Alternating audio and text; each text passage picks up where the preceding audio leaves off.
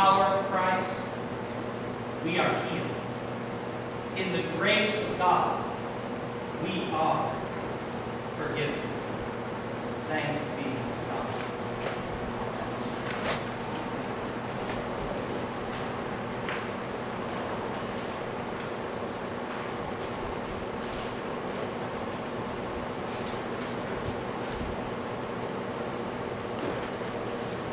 Good morning.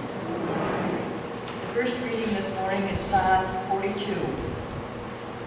As the deer longs for streams of water, so Long for you, O God. I thirst for God, the living God. Where can I go and stand before him? Day and night I have only tears for food, while my enemies continually taunt me, saying, Where is this God of yours? My heart is breaking as I remember how it used to be. I walked among the crowds of worshipers, leading a giant great procession to the house of God, singing for joy and giving thanks amid the sound of great celebration. Why am I discouraged? Why is my heart so sad? I will put my hope in God. I will praise him again, my Savior and my God. Now I am deeply discouraged, but I will remember you, even from distant Mount Hermon the source of the Jordan from the land of the Mount Mizar. I hear the tumult of raging seas as your waves and surfing tides sweep over me. But each day the Lord pours his unfailing love upon me, and though each night I sing his songs, praying to God who gives me life. O God, my rock, I cry, why have you forgotten me? Why must I wander around in grief, oppressed by my enemies? Their taunts break my bones. They scoff, Where is this God of yours? Why am I discouraged? Why is my heart so sad? I will put my hope in God. I will praise him again, my Savior and my God. And the second reading is from Galatians 3, uh, verses 23 through 29. Before the way of faith in Christ was available to us, we were placed under guard by the law. We were kept in protective custody, so to speak, until the way of faith was revealed. Let me put it another way. The law was our guardian until Christ came. Protected us until we made we could be made right with God through faith. And now that the way of faith has come, we no longer need the law as our guardian. For you are all children of God through faith in Christ Jesus. And all who have been united with Christ in baptism and put on Christ, like putting on new clothes. There is no longer Jew or Gentile, slave or free, male or female, for you are all one in Christ Jesus. And now that you belong to Christ, you are the true children of Abraham. You are his heirs, and God's promise to Abraham belongs to you. This is the word of the Lord.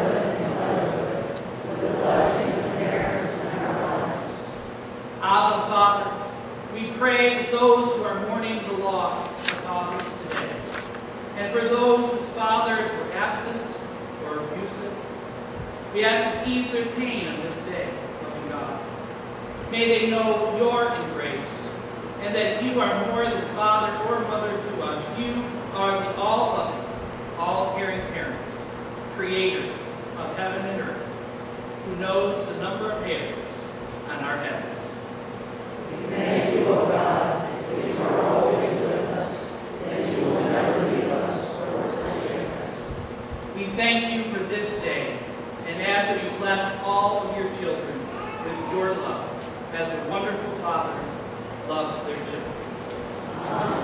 May we be seated. Let us sing together. This is my father's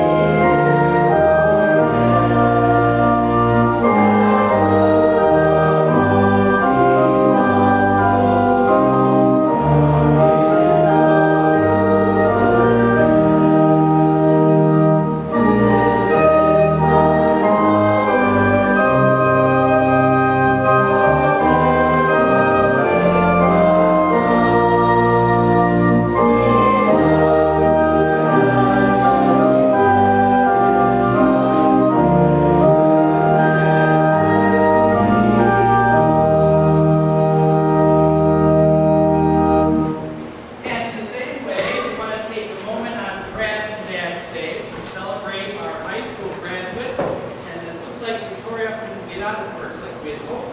But, and your friend is here, so we might ask you to come up. We want to honor him and hear from him about his plans.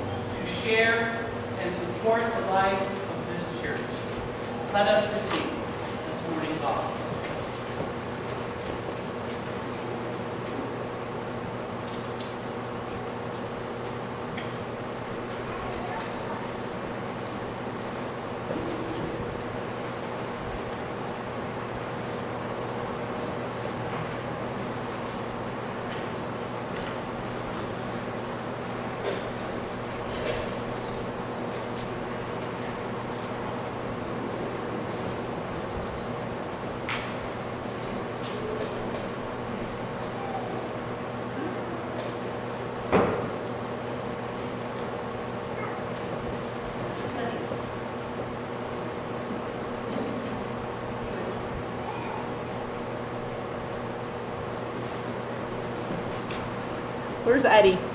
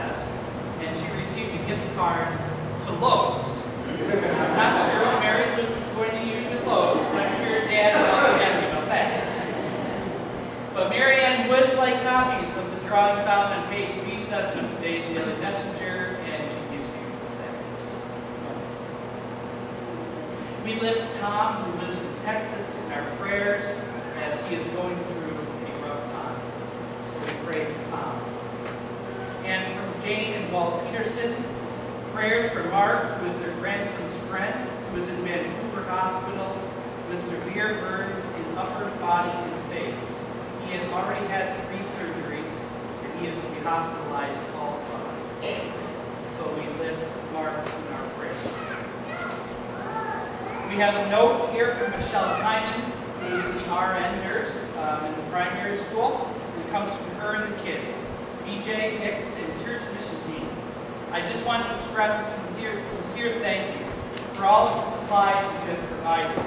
From sneakers to underwear, each item has been put to good use and much appreciated. We are lucky to have such great support in our community. So thank you to the mission team for meeting that need. And our outreach team did a super duper job on Thursday, and God came through with beautiful weather for our Strawberry Social, our annual 50th Strawberry Social. And I'm told the profits are $1,395.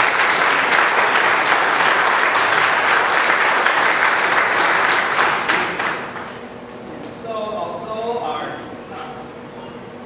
fundraising is a byproduct in, in directing the Strawberry Social, it's a wonderful thing. It's also fun to see the community come together. Uh, because Ron Green has said to me, this could be church. And uh, it was. And that could have been church right there. What a beautiful thing it is when God's people come together. Pleasant thing, the scriptures say. Almost sounds the same. We have, I'm sorry, almost. 350 people, almost 350 people. That's great. Great.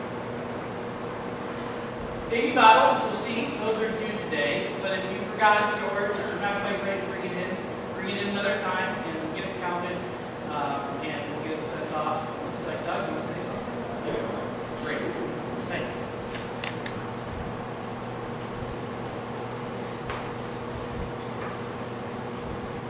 As the chairman of the board of the, what used to be called the Pregnancy, when we say CareNet Pregnancy Care Center of the Finger Lakes, now we've changed our name, the paperwork's in, it's official, we're now the Family Hope Center. Uh, I just want to thank this church for your incredible support that you give to our ministry.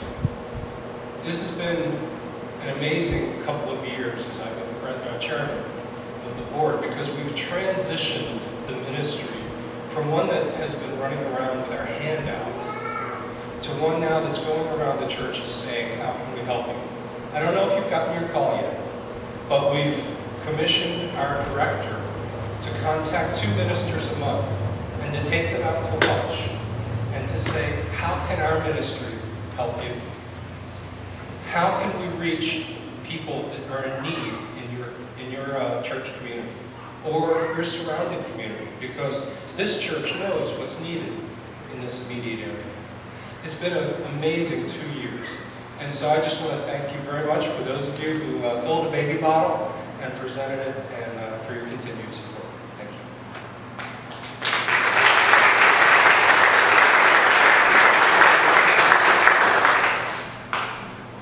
Is the director buying some lunch? It's an absolute yes.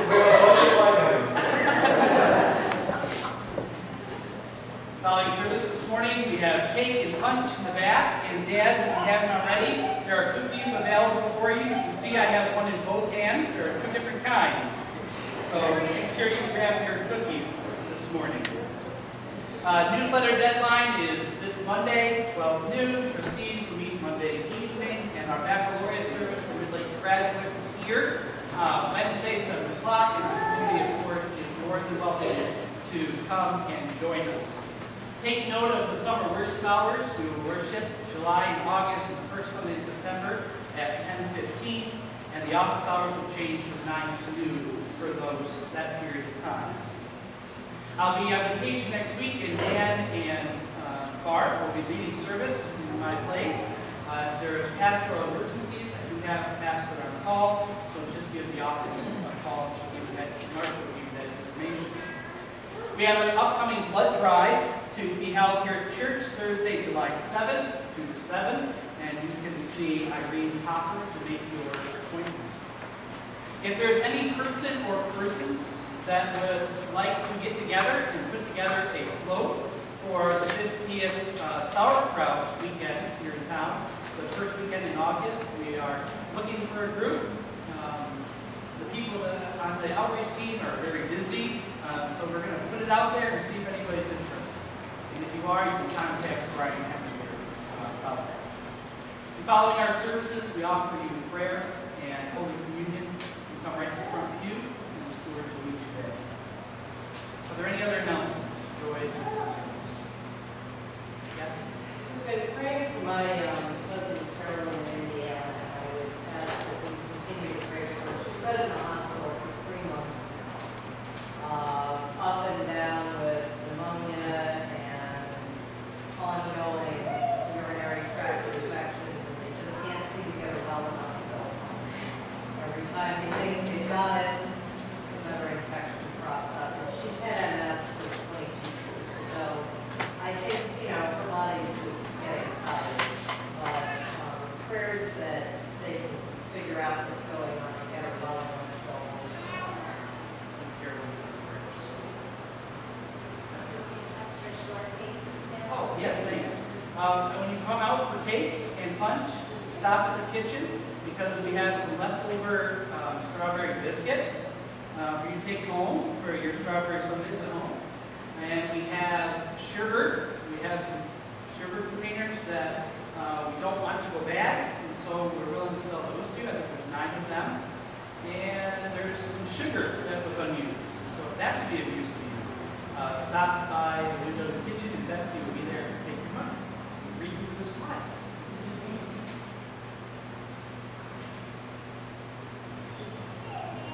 Let us pray.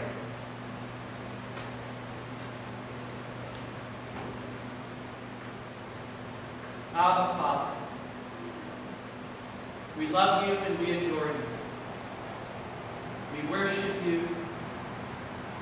We bask in your grace and your love and our belovedness as people who are created in your image. Lord, there are times in which we speak when we shouldn't. There are times we should speak and we don't. There are times when we simply fall short of your glory. Heal us, O God, and make us whole. By the power of our faith in you, may we sense your presence in our lives, that outstretched hand of compassion and another chance.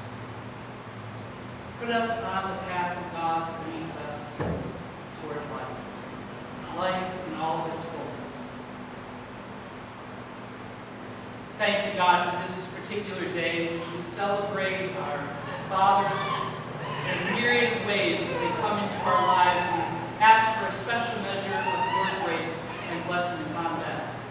And for Andrew and Victoria, who will be graduating in just a couple of days, and all those who are graduating, those who have graduated from higher levels of education. We ask, Lord, for your provision in their lives, that they not forget what we have taught them and instilled within them, that they are your children. Help them to center you in the midst of this new transition in their lives. And together we lift to you in our prayers Mark, who finds himself in the hospital and will be for a period of time. We ask for healing. And for Tom, who has lived in Texas, who's going through a rough patch, we ask, Lord, for your Holy Spirit to intervene. We celebrate with Mary Ann and Mary Lou, uh, her winning the contest in the Daily Messenger.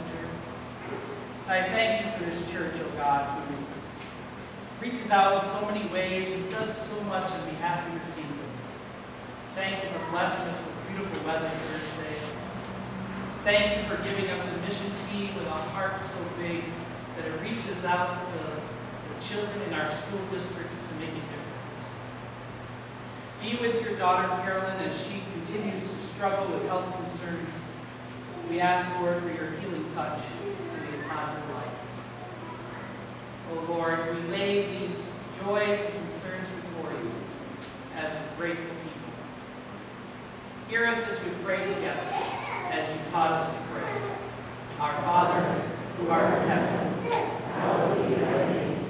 Thy kingdom come, thy will be done, on earth as it is in heaven. Give us this day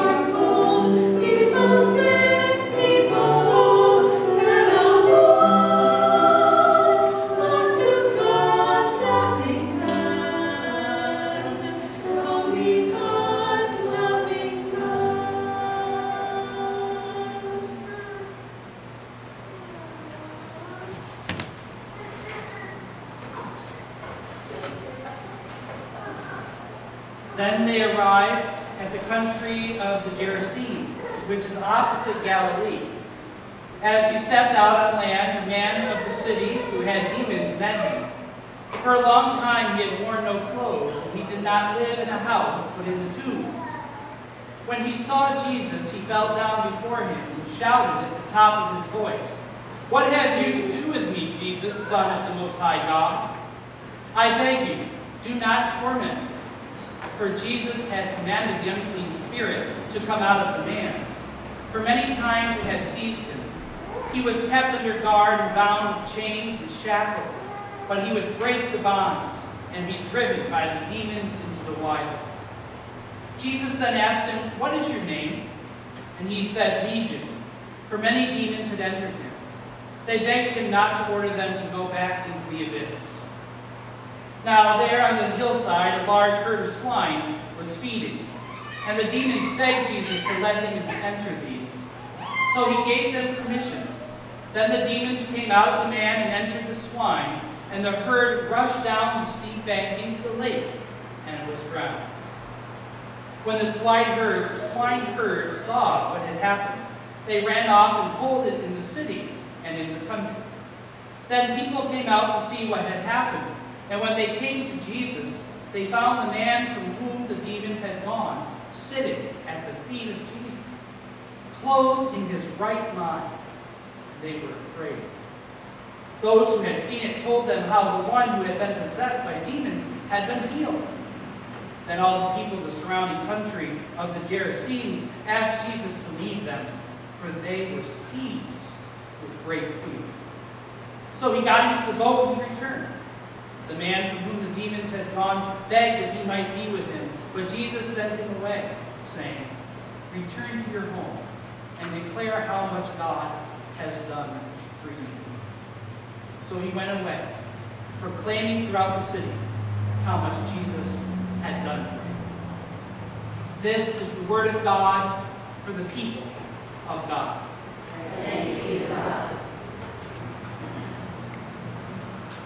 As a child of the 80s, one of the first images that popped into my mind when I read our gospel story, and it happens any time that I read stories about demon possession, the image is that from the cinematic gift to the world, the original Ghostbusters. Now, the particular scene is about halfway through the movie when Bill Murray goes to pick up his cellist friend, Dana, who's played by Sigourney. And he goes there to pick her up for a date. But when he opens up the door, she looks a little different than usual. She's in this flowy outfit, she's all backlit, the wind is blowing her hair even though she's inside her apartment. But he quickly figures out what's going on and he begins to speak to whatever it is that has possessed her, which leads her to levitate over her bed and she begins to growl, There is no Dana, only Zuul. Do y'all remember that scene? It, you know, YouTube it. It's funny. It's funny. But maybe Ghostbusters really isn't your thing. Maybe it's The Exorcist or something else. But the world that is full of books and movies is full of images of demon possession and the related fields, of course, vampires and zombies and witches and goblins and all of that. But the demon possessions of the gospel age, they were not quite the same as what we see in the movies today. Author, pastor, Professor Fred Craddock says, Luke's gospel makes little distinction between an exorcism, which is the casting out of demons, and the run-of-the-mill healing. People of that time believed that demons caused physical and mental issues, but they did not usually see demons as morally evil.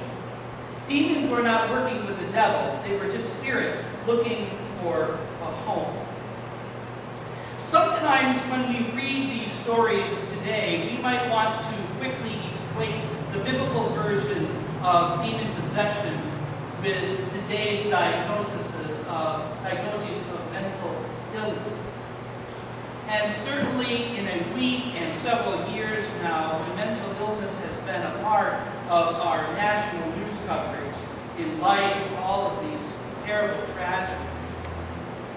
It would be easy for us just to settle right there and conclude that those with such issues simply need Jesus' power to take away their illness, take away their demons.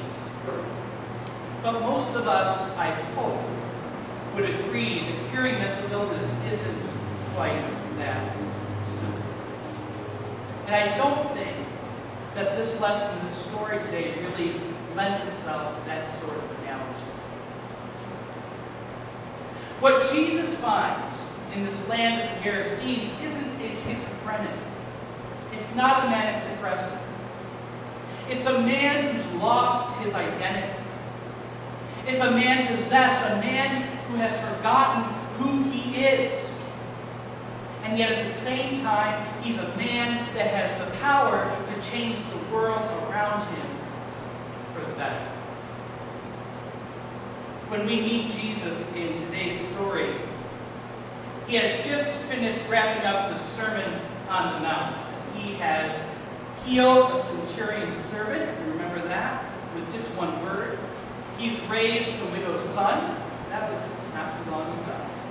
And now last week he has started to teach us in parables. Last week it was about the two debts. And at the beginning of Luke chapter 8, where we start our gospel today, Jesus tells his disciples that they are to board the boat so that they can sail to the other side of the Sea of Galilee. And as the story goes, Jesus falls asleep. You remember the story? What happens? A huge storm, right? A huge storm comes up, and the disciples, they get all crazy, they get terrified, they think they're going to drown. And so they run and they wake up Jesus, and Jesus wakes up, and what's he do? He calms the storm. Right. Calms the storm.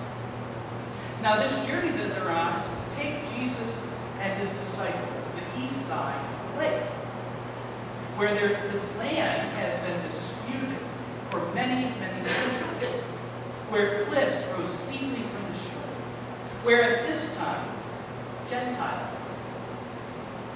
The land of the Gerasenes was a place a self-respecting Jewish rabbi would not usually go. But of course, as we know very well, Jesus is not your average Jewish rabbi, and rarely does Jesus ever observe those kinds of cultural or geographic boundaries. The only thing that Jesus did in that land was heal this one man. And we have to wonder if this particular guy is the sole reason that Jesus and the disciples sailed across Galilee, even in the midst of a huge storm. But the man seems to expect Jesus. He meets him immediately, and he must have been one hot mess. I mean, he'd been living outdoors by himself, he was all alone, he was naked, he was living amongst the grave for years. He was an outcast, he was the very definition of a person who is unclean. And yet it seems like Jesus didn't even really interact with this guy before he knew what was going on. But perhaps it was his nakedness, perhaps it was the scars from the places that he had broken free from the shackles that had bound him for so long.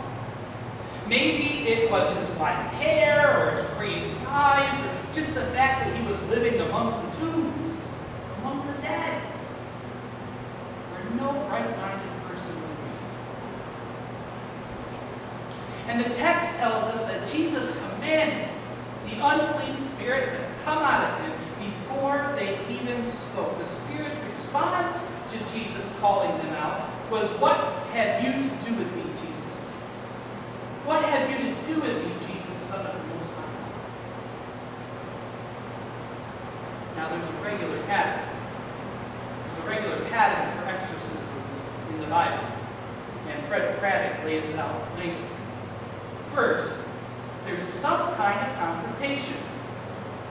And then there's the calling of the demon's name. Because in that time, to speak a person's name was to exercise power over them. Then there was often some sort of a shouting match between the demon and the person calling that demon out. And then finally, the formerly possessed finally rest.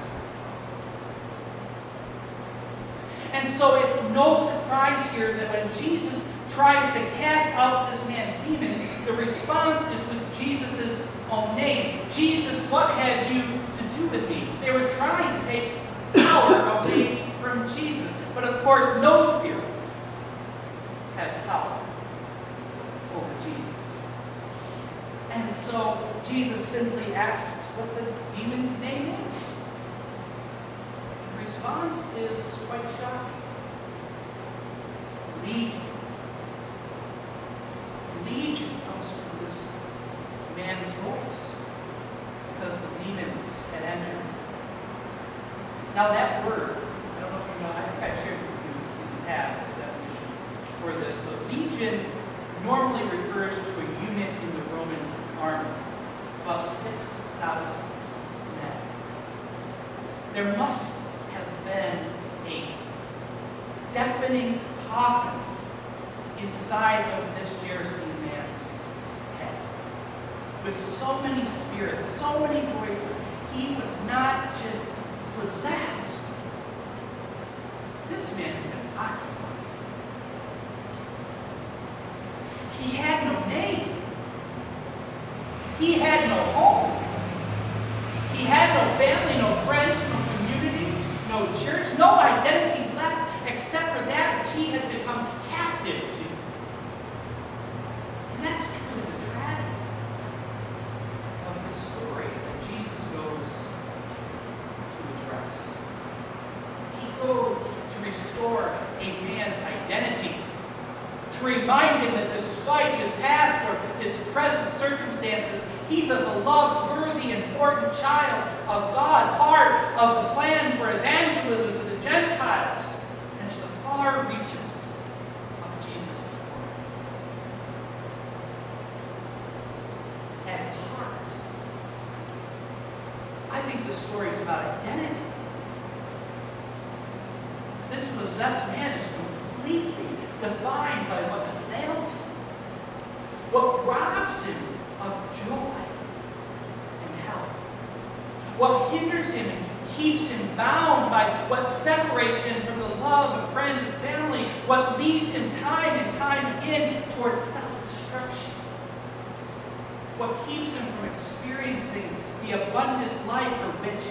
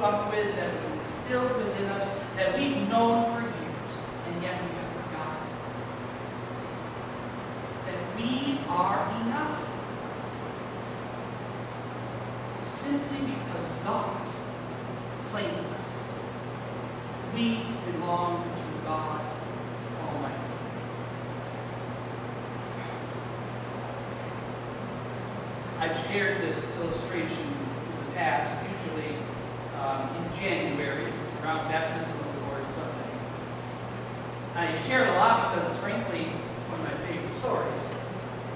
Martin Luther once said, There is on earth no greater comfort than baptism. And Luther proved this in his personal life and his personal experience. Luther admitted that when he was in distress, in the midst of affliction or anxiety, he comforted himself by repeating the phrase, I am baptized. I am baptized. I am baptized. And in so saying, I am baptized, Luther was affirming and rightly stating that he belonged to God. Father, Son, and Holy Spirit, signed, sealed, and delivered. By this we learn who we are and whose we are. That is an important moment of that brief moment that we spent in baptism. I am baptized. I am baptized. And confessing this, we are rightly believing in our identity as a child of God, believing that Christ's claim on us is the most powerful voice in our lives. And in so doing, we are making it very clear, very clear to all the other competing voices that they cannot defeat the power of God's claim on our lives. Period. If we were to go about shouting, in our workplaces, in our homes, in our communities, wherever, if we were to go about shouting, I am baptized, to all the negative voices in our lives, to the television, to the radio, to those perfect images uh, in magazines and on websites, to people's completely filtered lives on social media, other folks might assume that we've all gone just a little bit crazy ourselves.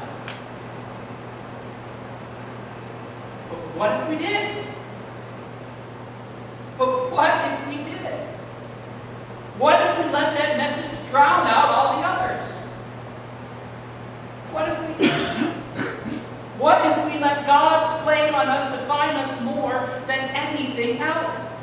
What if we our identity come from God's love in our lives rather than from our failures or our perceived insufficiencies? What if we reminded each other every time we gathered that we are called and we are claimed by God, and that is our primary identity? Child God. What might that do in our lives, and therefore in our world?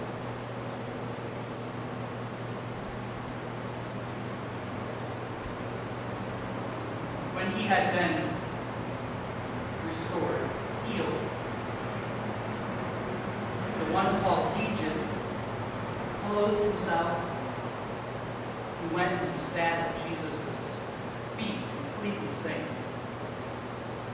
And as a side note, no better place to rest than Jesus' feet. But that power, that day, that, that moment, all those people in that community saw what was going on with Jesus and this man, frightened. They frightened, frankly, and they were not very pleased with Jesus. He was coming into their land, he was upsetting their social order. And so they asked him to leave. The man who had been healed and restored well, naturally, he wanted to stay right where he was. He sit at Jesus' feet with the one who called him by his true identity, who restored him to his humanness after so many years of living as an outcast. But Jesus told him, You can stay for a little while, but you've got to go. You got to go home. You got to go and tell the story. He was healed. He knew who he was. He could go home again. He wasn't an outcast any longer. He didn't need to stay in close physical proximity to Jesus. Instead, he could go and he could share the truth of his belovedness and he could transform lives with God's love all over that foreign land. good news, news for us is that Jesus is still today willing to cross a raging sea, to cross cultural and political and geographical boundaries, to call out our demons, to tell us that we are not the sum of our failures, no matter how many voices are telling us otherwise, but that we are His and that is enough. You belong to God.